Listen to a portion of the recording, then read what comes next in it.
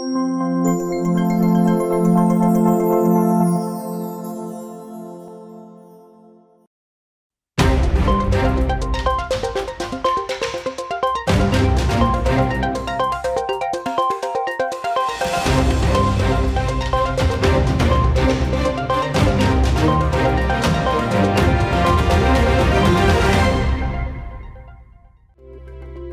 Köszöntöm Önöket! A Pécs TV híradóját látják, főbb híreink néhány mondatban.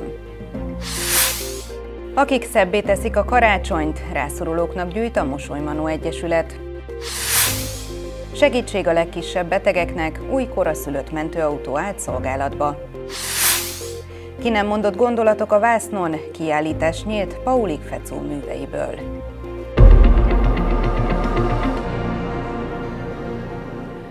Rászorulóknak segíti szebbé tenni a karácsonyt a Mosolymanó Egyesület. A civil szervezetnél azt tapasztalják, hogy az évek során immár hagyományá vált akcióra ebben az esztendőben nagyobb igény mutatkozik. Az Egyesület Menekültek Baranyában című kezdeményezéséért az év önkéntes programja díjat vehette át december 1-én. Az öt éves Bella sminkészletet, testvére a kettő és fél éves Lilian babakocsit szeretne, emellett mindketten síros babára vágynak.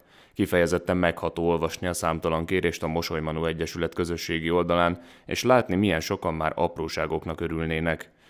A civil szervezet 2009-es megalakulása óta foglalkozik jótékonysági akciókkal, ezek tevékenységük nagyon fontos részét képezik. Jelenleg kb. 200 regisztrált családunk van. A regisztráció az egy folyamat, amihez igazolniuk kell a rászorultságot, és amennyiben ez megtörténik, akkor tudjuk őket rendszeresen különböző módon segíteni. Az igénylők már októbertől jelentkezhettek a programra, a kérések fantázia névvel és sorszámmal kerültek fel a Mosolymanó közösségi oldalára.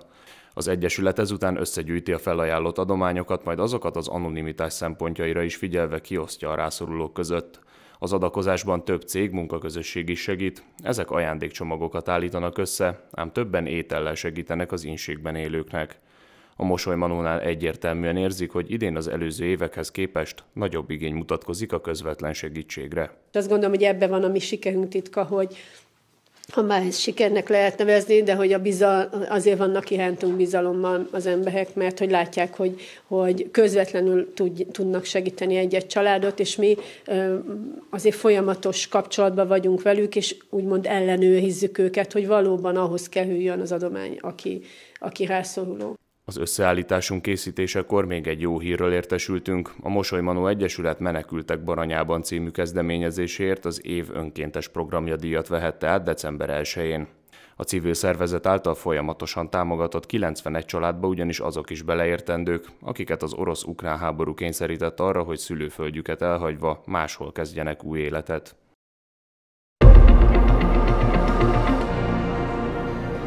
Új rendőrfőkapitánya van Baranyának, dr. Szijjártó István rendőr ezredes a Baranya megyei rendőrfőkapitányság mai állománygyűlésén vehette át a zászlót elődjétől, dr. Gulyás Zsolt rendőr dandártábornoktól, aki a jövőben Bács-Kiskun megyében teljesít szolgálatot. Dr. Szijjártó István a rendőrtiszti főiskolán a Pécsi jogi karon szerzett diplomát. Hivatásos szolgálatát 1984-ben Szexárdon kezdte, később Dobmóváron volt kapitányság vezető, majd bűnügyi igazgató volt a Tolna megyei rendőrfőkapitányságon. Az elmúlt kilenc évben Somogy megyében bűnügyi rendőrfőkapitány helyettesként szolgált. Dr. Szijjártó Istvánt október közepén nevezte ki Pintér Sándor belügyminiszter a Baranyai kapitányság élére. Téli öltözéket kapnak a pécsi szobrok, mint arról a városüzemeltetési cég közösségi oldalán hírt adott. A hidegebb időjárás beköszöntével a pécsi közterületi szobrokra a társaság munkatársai minden évben biztonságos védőburkolatot szerelnek fel. A napokban így a Pálos templomnál található Viktor Vazarelli szoborra, az Ágoston téri bányász emlékműre és a Barbakán kertben lévő Adi szoborra került fel a faburkolat. Természetesen az ivókutakat és csobogókat már korábban lezárták a Biokom szakemberei.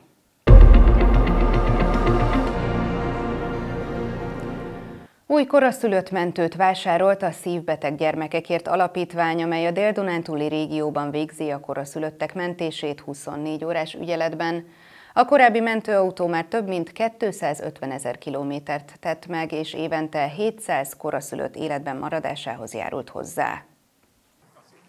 Már az édesanyák úti nőgyógyászati klinika előtt áll az az új mentőautó, amit a Szívbeteg Gyermekekért Alapítvány vásárolt a korszerűbb és hatékonyabb ellátás érdekében. A szerdai átadón megtudtuk, hogy az elmúlt évtizedekben igen sokat fejlődött a koraszülöttek ellátása, így már nagyon pici súlya a született csecsemőt is életben tudnak tartani a szakemberek. Az eredményességhez azonban szükség van arra, hogy a segítség időben és megfelelő felszereltséggel érkezzen. Időbe kell kiérkezni, és a most átadásra kerülő mentőautó ebbe tud segíteni, és nem csak időbe kell kiérkezni, visszaérkezni is időbe kell, és megfelelő minőségi ellátást kell nyújtani az újszülöttek számára. A feladatot a régióban a Szívbeteg Gyermekekért Alapítvány látja el, akik, mint ahogy az az átadón elhangzott, az újszülött intenzív osztály meghosszabbított karjaként végzik a babák mentését. A közel 44 millió forint értékű autó azonban nem csak a koraszülötteket, de más betegséggel küzdő csecsemőket is szállít, és az esélyes életben maradáshoz szükséges összes berendezéssel rendelkezik. Benne van egy szállító újszülött inkubátor, ami melegen tartja a babát, lehet benne oxigént adni, lehet lélegeztetni, különböző monitorok figyelik a működés, az életműködések paramétereit, illetve infúziós pumpákkal gyógyszereket tudunk adni a babának, amíg a idejére a újszülött intenzív osztályra. Ez az új mentő érkezik tehát majd ezentúl Baranya, Somogy és Tolna megyében minden olyan esethez, amikor korábban érkezik, vagy éppen orvosi segítségre szorul a baba, az előző autó pedig a szükséges tartalék szerepét tölti be a jövőben. A magyar fiatalokat érdekli legkevésbé a közélet Közép-Európában hasonló korútársaikhoz képest. Ez derült ki egy nemrég készített felmérésből. Uniós támogatással éppen ezért egy olyan képzési program indul most a fiatalok számára a Kárpát-medencében, amely érdekképviseletre tanítja őket. A projekt során diákokkal foglalkozó tanárokat és önkormányzati tisztségviselőket képeznek és fejlesztenek majd. A középiskolások érdekképviseletre való oktatása a fő célja annak a két éves képzési programnak, amelyet a Nemzeti Ifjúsági Tanács indít partnereivel a Kárpát-medencében. A projekt az Erasmus Plus program 400 ezer eurós támogatásából valósul meg, és lehetőséget ad többek között a tanárok és közszolgálati tisztségviselők képzésére, egy tudásközpont és információs portál létrehozására. Dr. Fedeles Tamás, a Pécsi Egyetem rektor helyettese elmondta, a 2022 és 24 között zajló pályázatban több oktatási és közigazgatási intézmény is részt vesz. Itt Kárpát-medencei térségről van szó, a felvidékről a Sej János Egyetem, Erdély területéről, például a Romániai Magyar Középiskolások Szövetsége, vagy a Szapiencia Erdélyi Magyar Tudományegyetem, illetve hát itt az egyetemi partnerek között itt van a Pécsi Tudományegyetem, sőt az egyetemi klasztert mi vezetjük, méghozzá a tanárképző központunk főigazgatója szakmai irányításával, dr. Gerner Zsuzsanna fogja össze szakmailag ezt a pályázatot. A projekt célja, hogy több száz Kárpát-medencei fiatal tanuljon demokráciát, vagyis sajátítson el mások tiszteletén alapuló vitakultúrát, álljon ki a saját és diáktársai jogaiért érdekképviseleti keretrendszereken belül igenis legyenek aktívak a közéletben, nyilván a maguk életkorának megfelelően már a középiskolás diákok, hiszen ugye egyetemre érkezvén ugye itt olyan autonómiával rendelkeznek, amelyet úgy tudnak leginkább maguk javára fordítani, hogy már előzetes tudás birtokában történik meg mindez.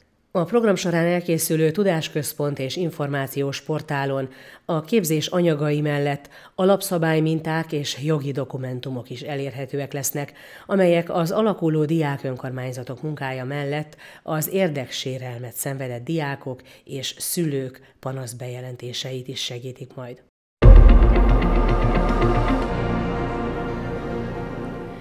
Rendhagyó kiállítás nyílt ma a Glasgow pubban. A tárlat egy fejjel festő fiatalember Paulik Fecó képeit mutatja be, aki születése óta beszéd és mozgássérülten éli mindennapjait.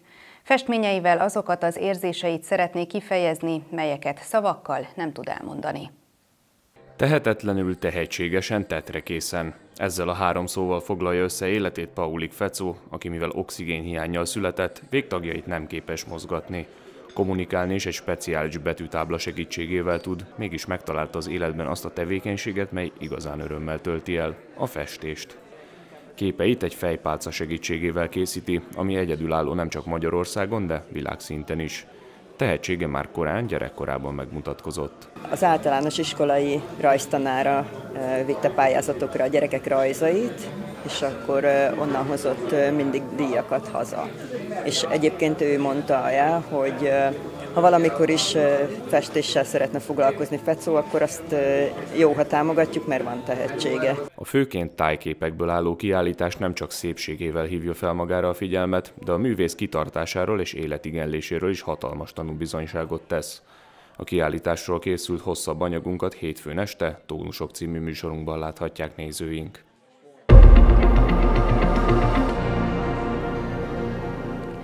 Végül néhány szó az időjárásról. Pénteken túlnyomóan felhős, borongós idő várható, térségünkben időnként esőre is számítani kell, kisebb széllökések is kísérhetik a csapadékot. A legmagasabb nappali hőmérséklet 5 fok körül alakul. Önök a Pécs TV híradóját látták, köszönjük megtisztelő figyelmüket, heti hírösszefoglalónkkal holnap este jelentkezünk viszontlátásra.